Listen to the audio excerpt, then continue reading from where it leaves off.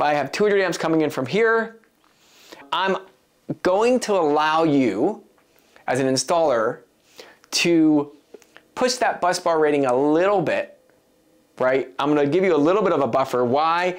Well, there's lots of reasons you could say why. Remember we talked about that 125% buffer on the overcurrent protection. So we know that technically we have extra kind of buffer from a breaker rating on all the supply breakers. That could have been one of the reasons, you know, I think it was like we need to backfeed something to allow solar and storage, but we need to do it in a safe way.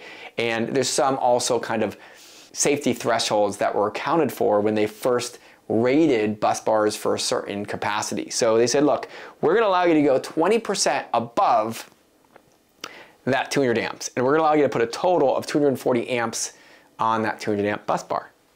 So if we take that 200 amps from the grid plus the 40 amps from the solar and or solar storage of breaker rating, we're able to now backfeed 240 amps.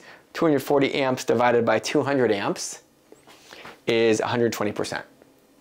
And that's kind of the limit for what you can backfeed.